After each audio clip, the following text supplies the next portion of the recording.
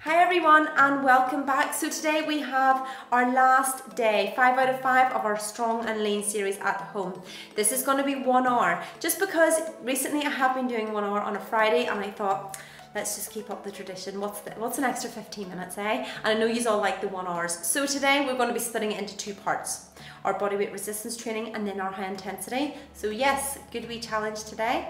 The timer will be on the entire time, 40 seconds of work, 20 second rest. So really use that 20 seconds to also look at the screen, see what's coming up, but also try and get that heart rate down a little bit. So the equipment that you'll need, just a mat, a wall for one set of wall sits and also a chair. Only one chair this time. So in between the first half, so the first half is our bodyweight resistance, we will be doing this sequence between every exercise. So as you can see here, I'm in a Bulgarian, I'm nice and low, leaning back. I'm gonna come into a plank position, balancing on one leg, come over. Then you're going to do one solid good push-up, into side plank, open the chest, opposite side, open the chest, another push up and then back on the opposite leg into a Bulgarian again. And we carry that on for 40 seconds in total. And that will be completed between every single exercise at the first half. The second half in between we will be actually doing plank twists so in between every high intensity exercise we'll be going into our plank twists. So these are one of my favourites, these weren't in the exercises this week but I've incorporated this today just because I think that you like this one and I know that um, I really feel the benefits of this in particular. So this is a plank twist, you'll be dropping dropping the hips nice and low. Just make sure that when you're coming, when you're actually twisting from the side and coming back to center, your hips are low. So really try and keep them hips as low as you can. Relax the shoulders away from the ears and make sure your elbows are protected on a mat.